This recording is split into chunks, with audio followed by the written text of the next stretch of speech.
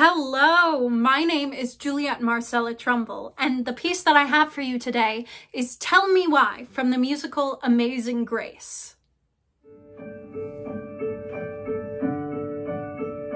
Yet I always knew it would somehow end this way, that this world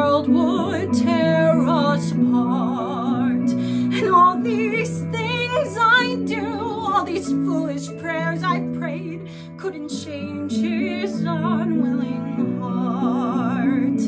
But how could you have let me love him? Why, God, you put this fire in my soul for him. Why, only to deny